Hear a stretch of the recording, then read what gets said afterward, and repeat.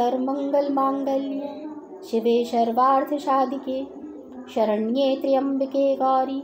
नारायणी नमोस्तुते आज नवरात्रि के सातवें दिन हम ग्यारहवें अध्याय का पाठ करेंगे ग्यारहवा अध्याय भक्ति मुक्ति तथा आगामी चिंता के निवारण के लिए किया जाता है। ऋषि बोले, हे देवी जी ने जब दैत्य राज्य महाअसुर शुंभ का वध कर दिया, तब इंद्र आदि सभी देवता अग्नि को मुख्य करके अपने मनोरथ सिद्धि के लाभ से सभी दिशाओं को दमकाते हुए, कमलों से प्रकाशित करते हुए उस कात्यायनी देवी की स्तुति करने लगे।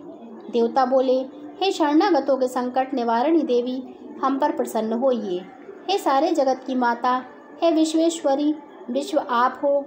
हे देवी, आपने इस सारे जगत को मोहित कर रखा है। पृथ्वी पर आपकी प्रसन्नता से ही मुक्ति का लाभ होता है। हे देवी जी, सभी दिशाएँ आपका भेद हैं।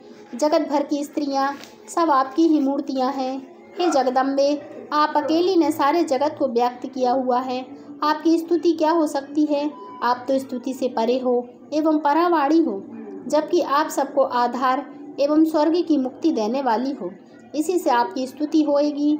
आपकी स्तुति के लिए अन्य कौन सी उत्तम युक्तियाँ हैं? सारे जनों के हृदय में बुद्धि रूप होकर आप ही स्थित हो।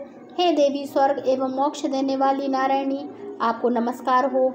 कला काष्ठा अधिक रूप से सबकी रक्षा कीजिए। हे देवी, आप ही चर अचर की स्वामिनी हो। आप ही एकमात्र जगत की आधार हो। पृथ्वी स्वरूप से विराज नहीं हो। देवी जी, आपका पराक्रम अलग अलंघनीय है। आप ही जो जल स्वरूप में स्थिर होकर इस सारे विश्व को तृप्त कर रही हो। अनंत पराक्रम वाली आप ही वैष्णवी शक्ति हो। विश्व भर का परम बीज माया को भी स्थानों के क्रम में बदल देने वाली विश्व के संहार में शक्ति रूप, हे नारायणी देवी, आपको नमस्कार हो। हे देवी, आप सभी मंगलों को देने वाली मंगला हो। सभी अर्थों को सिद्धि देने वाली शिवा हो। शरणागत रक्षक हो। तीन नेत्रों वाली हो। हे गौरी नारायणी, आपको नमस्कार हो। आप ही दृष्टि स्थित एवं संहार करने में सनातनी शक्ति स्वरूप हो। आप गुणमयी और गुणों का आधार हो। हे नारायणी देवी, आपको नमस्कार हो। शरण में आए हुए दीन दुखियों की रक्षा करने में संलग्न, सबके संकट निवारण करने वाली नारायणी देवी, आपको नमस्कार हो। हंसों से जुते हुए विमान पर विराजमान ब्रह्मणी के रूप को धारण करने वाली कुश मिश्र जल छिड़कने वाली नारायणी देवी आपको नमस्कार हो। माहेश्वरी के स्वरूप से त्रिशूल चंद्रमा और सर्पों को धारण करने वाली महावृषभ पर बैठने वाली नारायणी आपको नमस्कार हो। मोर तथा मुर्गों से आवृत महाशक्ति को धारण करने वाली महापाप रहित कौमारी रूप में स्थित है। नारायणी आपको नमस्कार हो। शंख, चक्र, गदा, शांग, इन उत्तम अस्त्रों को धारण करने वाली वैष्णवी शक्ति रूप प्रसन्न हो। हे नारायणी आपको नमस्कार हो। हाथ में भयंकर शंख चक्र धारण किए, दाणों पर पृथ्वी उठाए हुए बारह रूप धारणी शिवे नारायणी, आपको नमस्कार हो।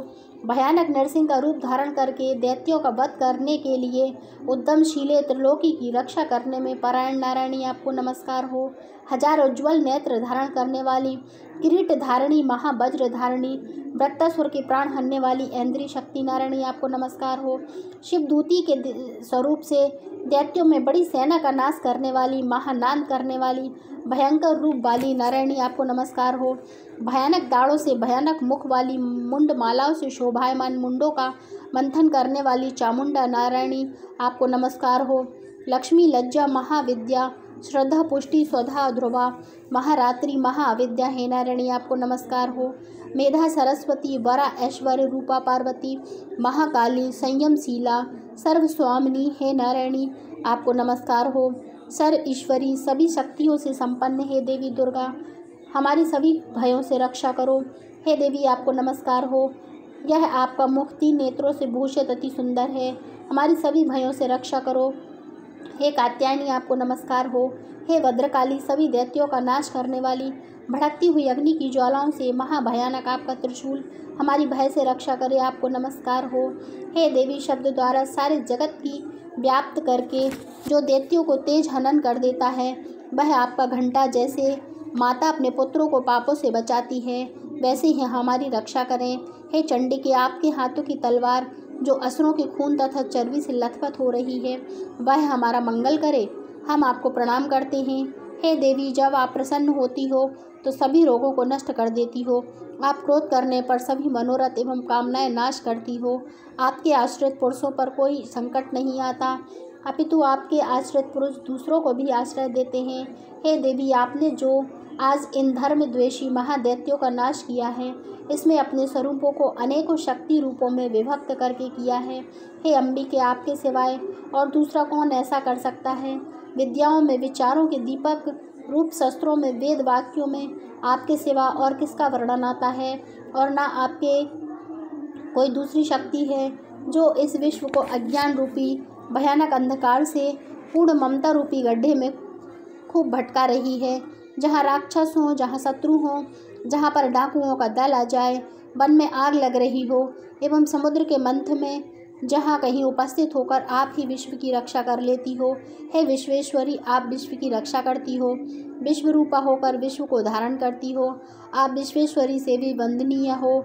जो पुरुष आपको प्रणाम करते हैं, वे विश्व के आश्रय हो जाते हैं। हे देवी, जिस प्रकार इस समय दैत्यों के वध से तुरंत हमारी रक्षा कर ली, इसी प्रकार नित्य ही हमें शत्रुओं के भय से बचाइए, प्रसन्न होइए और जल्दी से सारे जगत के पाप नष्ट करिए। पापों से उत्पन्न महामारी आदि उपद्रव भी दूर हो। हे देवी विश्व भर के दुख दूर करने वाली, प्रणाम करने वाले हम पर प्रसन्न होइए।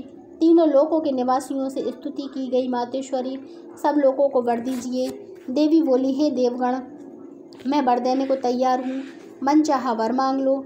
संसार का उपकारक वर मैं अवश्य देती हूँ। देवता बोले, हे सर्वेश्वरी, आप त्रिलोकी की समस्त बाधाएँ शांत करें और इसी प्रकार हमारे शत्रुओं को भी नाश करती रहें। देवी बोली, है देवगण वैवस्तव वास्तव मनवंतर के अट्ठाईसवें युग के आने पर शुम्भ निशुम्भ नामी दो महादैत्य पैदा हो जाएँगे। तब मैं नंदगोप की गृहिणी यशोदा के गर्भ से अवतार लूँगी और विंध्याचल में जाकर निवास करूँगी। फिर पृथ्वी पर महाभयंकर रूप से अवतार लेकर बेप्रचित्ति नामक दैत्यों का संहार करूँगी। उन बेप्रचित्ति नामक घोर दैत्यों का भक्षण करके मेरे दांत भी अनार के फूलों की तरह लाल हो जाएँगे। तब स्वर्ग में देवता और पृथ्वी पर मनुष्य मेरी स्तुति करते समय मुझे रक्त दंती का कहेंगे। उसके अनंतर जब पृथ्वी पर सौ वर्षों तक वर्षा नहीं होगी, पानी मिलेगा ही नहीं, तब मुनिजन मेरी स्तुति करेंगे। उस समय मैं आयु निजा प्र आयु निजा प्रकट होंगी मैं सौ नेत्रों द्वारा उन मुनियों को देखूँगी। तब मनुष्य मेरा सताक्षी नाम से कीर्तन करेंगे। हे देवतागण, उस समय सारे संसार को जब तक वर्षा नहीं होगी, तब तक अपने शरीर से उत्पन्न शाख द्वारा पालूँगी। पृथ्वी पर शाकंभरी इस नाम से विख्यात हो जाऊँगी। वहाँ पर मैं एक दुर्गम नाम के दैत्य का वध करूँगी। फिर मेरा नाम दुर्गा देवी नाम से विख्यात होगा। फिर जब मैं भयानक रूप धारण करके हिमालय पर रहने वाले राक्षसों का मुनियों की रक्षा के लिए भक्षण करूँगी। उसी समय सभी मुनि भक्ति भाव से नम्र होकर मेरी स्तुति करेंगे। तब मेरा नाम भीमा देवी विख्यात होगा। फिर जब अरुण नामक दैत्य त्रिलोकी में भय एवं बाधाएँ उपस्थित कर देगा, तब मैं त्रिलोकी की रक्षा के लिए छह पंजों वाले असंख्य भ्रमणों का रूप धारण करके उस महाअसुर का वध करूँगी। उस समय मुझे भ्रामरी कहकर लोग सर्वतः मेरी स्तुति करेंगे। इसी प्रकार जब जब भी लोकों में देवतियों द्वारा बाधाएँ उपस्थित होंगी, तब तब मैं अवतार लेकर देवतियों का नाश करूँगी। इति श्री ग्यारहवा अध्याय समाप्त। जय माता दी।